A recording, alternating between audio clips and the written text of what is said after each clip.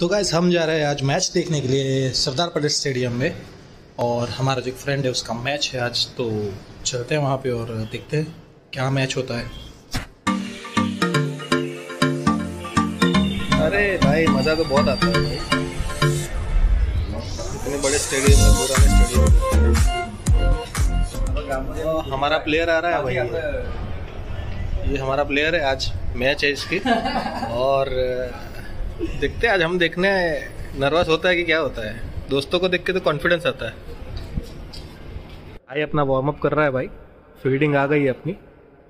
और अभी शुरू होने वाले मैच बीस ओवर का मैच है भाई। ये अपने टीम के प्लेयर है। ये दूसरे टीम के प्लेयर है। और ये अपना भाई वार्म अप कर रहा है।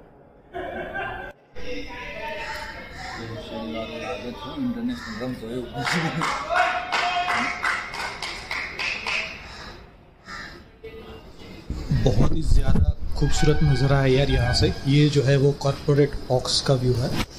और सबसे पहला जो वनडे था ना इंडिया में, वो यहीं से खेला गया था। और क्या खूबसूरत नज़ारा है भाई। यहाँ से जो दिखता है ना।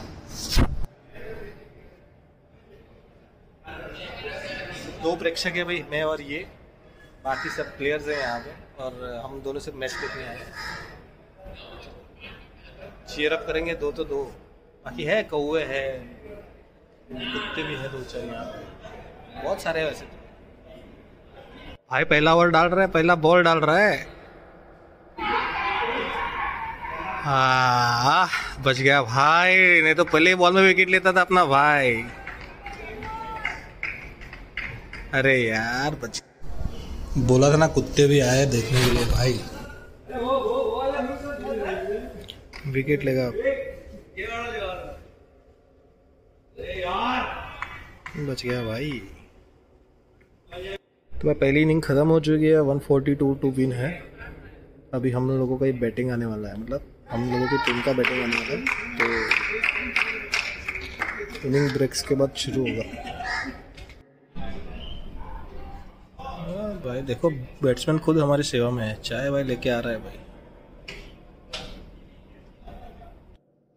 मैच जो है वो अब आखिरी पड़ाव में पहुँच चुका है। बारह बॉल में तेरह रन चाहिए। भाई, क्या बंदे ने खेला है? एक ही बंदे ने मतलब पूरी गेम ले दी हाथ में। दो दो भाग के सारा जो मार्जिन था, सब कर लिया।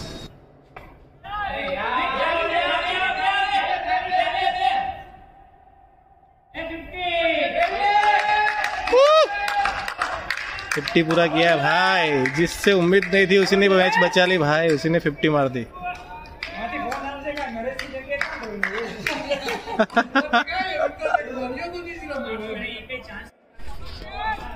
मैंने बोला था, इसी ओवर में खत्म हो जाएगा भाई, इसी ओवर में खत्म हो रहा है। सिर्फ़ एक रन बाकी है अभी तो।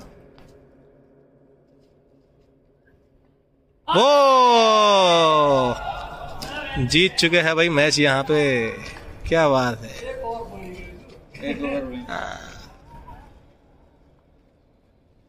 अबे भाई, विजय का बॉम्बे बड़ा पाव वर्ल्ड फ़ेमस है भाई। बहुत सालों बाद खाया बट ये दोनों साथ में ही है। टेस्ट सेम का सेम है भाई सेम टेस्ट तो बिल्कुल एकदम बटरी ये देख लो। भाई देख के आ जाता सो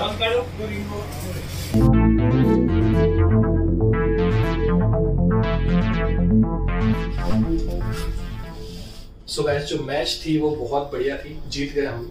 और जो मेरे दोस्त की जो टीम थी वो जीत गई। और अभी शायद नेक्स्ट संडे फाइनल है।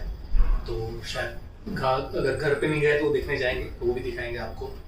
और इस ब्लॉग को यही ख़त्म करता है। ठीक है? मिलते हैं नए ब्लॉग में।